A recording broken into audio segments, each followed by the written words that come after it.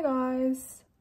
It's been a while since I made a YouTube video. Um, school just ended, so now that it's summer, I have a lot more time to make videos. So if you have suggestions, please comment below. I realized that I haven't done a makeup tutorial.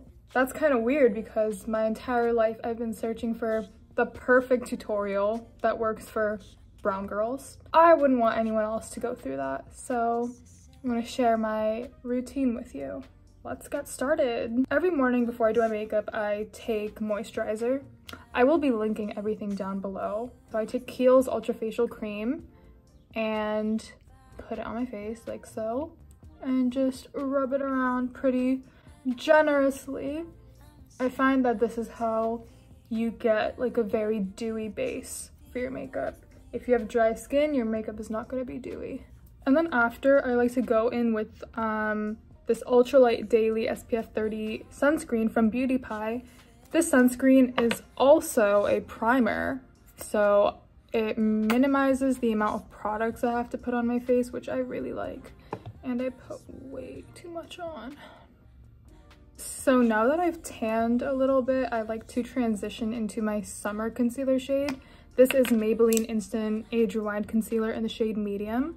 And I just put it in my under eyes, my upper lip, my eyelids, my sideburn areas because I shaved them so they end up being like a little grayish and I don't want to look like a man. I put some on my chin, this cut, and a bit on my forehead.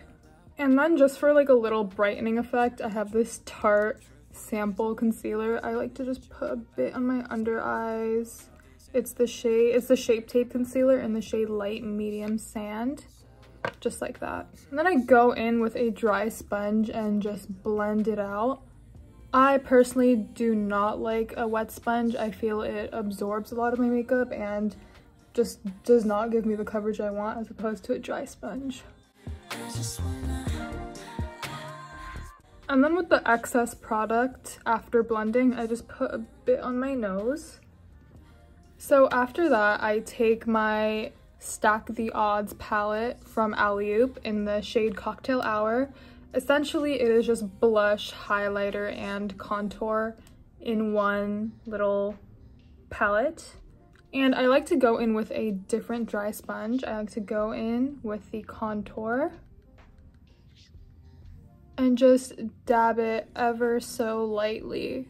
I like to put the contour on my jawline, my cheek hollows, and temples and forehead. Also, this is really pigmented, so don't use too much. And then after that, I like to go into the blush just a bit and do the same thing. Just dab it on and evenly disperse because it is very pigmented.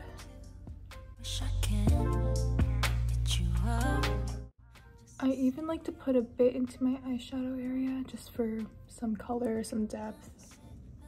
And then a new product I recently got is this highlighter from Rituel de Fille. It is the shade The High Priestess and it's like this iridescent highlighter. I really like it. So I just go in, dab a bit, and then blend. It blends really seamlessly and I just really like the glow it gives my face. Moving on, I have this Tarte Amazonian palette. I like to take a little bit of the shade Bold and I just like to put a bit on my eyelashes, on my eyelids. So after doing that, I like to take a little bit of setting powder. This is the Laura Mercier translucent, translucent setting powder. I like to open a bit of that up. I just like to take a little bit with my eyeshadow brush and just dab it under my eyes. With setting powder, I don't really like the matte look that it gives me, but it does prevent the crease lines and stuff, so I only use it under my eyes. And you kind of just want to like pat it into your skin. The area like around my nose, like this under area also gets oily, so I'm just putting the excess here. So after that, I like to curl my eyelashes with this random curler I got from CVS. That's a huge difference. And so I first go in with this lash primer from Beauty Pie and, you know, just apply it very generously. And then I go in with Urban Decay's Wild Lash. Again, very generous. And you want to do this all very quickly because eyelash products do dry up and get crusty in a matter of seconds. And then after that, I like to go in with the L'Oreal Telescopic. And then to top it off, I take this eyelash comb that I got from Grande Lash Cosmetics. It's a bit crusty right now. And then just comb through while the eyelashes are still like kind of wet. And it just like separates them so nicely. Like look at that. No clumpy lashes over here. And then you just repeat on the other eye. So after I do my eyes, I like to go in with my lip products because it's the last step, obviously. And I have my Vasanti Cosmetics lip liner in the shade Natural Instinct. And I just line my lips. Well, I don't just line them, I do the entire mouth. I mean, you can't blame me, it's such a pretty color. And then I have this lip oil from Beauty Pie in the shade Jammy. And I just apply it like so.